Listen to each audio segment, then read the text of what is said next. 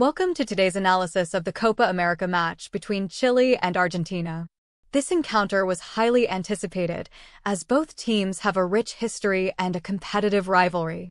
Argentina, led by Lionel Messi, managed to secure a 1-0 victory over Chile, with Lautaro Martinez scoring the decisive goal in the 88th minute.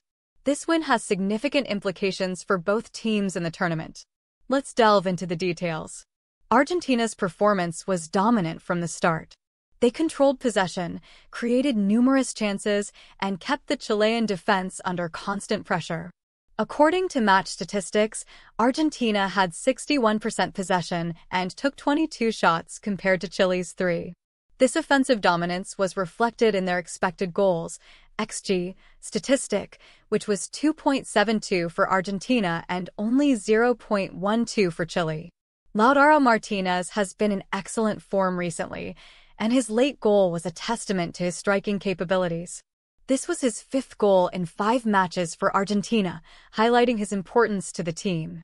Martinez's goal came after a period of sustained pressure from Argentina, where they kept pushing forward despite Chile's resilient defense. Lionel Messi had an eventful match as well. Early in the game, he suffered an injury scare but managed to continue playing after receiving treatment. Messi's ability to influence the game remained undiminished, and he came close to scoring with a long-range strike before halftime. His perseverance and leadership were crucial for Argentina's victory. Chile, on the other hand, struggled to make an impact defensively.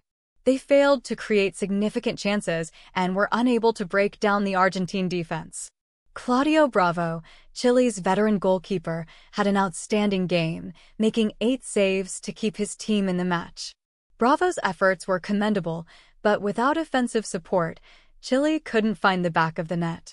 The victory for Argentina means they have secured their place in the quarterfinals of the Copa America. With two wins from two games, they lead Group A with six points. Canada follows with three points, while Chile and Peru each have one point. Argentina's next match is against Peru, and they will aim to continue their winning streak. Cristian Romero, Argentina's defender, commented after the game about the team's hunger for success. He emphasized the toughness of the match and expressed satisfaction with the team's performance and determination to achieve more in the tournament. Romero's words reflect the team's mindset as they progress further in Copa America. Alexis Mac Allister also shared his thoughts on the match, highlighting the challenging nature of the game. He praised his team's effort and mentioned that their focus now shifts to the upcoming match against Peru.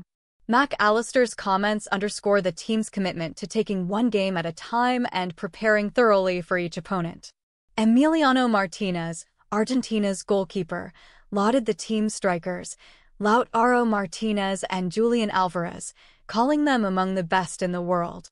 His praise for Bravo's performance also highlighted the respect between players. Emi Martinez's remarks show the importance of teamwork and mutual respect in achieving success. The match statistics paint a clear picture of Argentina's dominance. They created 18 chances compared to Chile's 1, took 22 shots with 9 on target, and won 11 corners while Chile had none.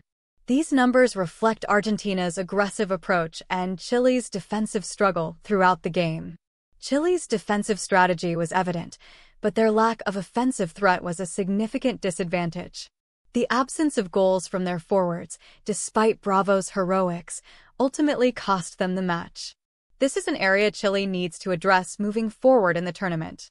In conclusion, Argentina's victory over Chile was a result of their relentless offensive pressure, solid defensive performance, and the contributions of key players like Lautaro Martinez and Lionel Messi.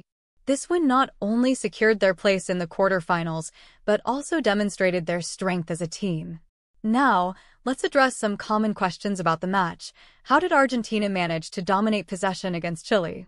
Argentina's midfield controlled the game effectively, with players like De Paul and Mac Allister distributing the ball well and maintaining pressure.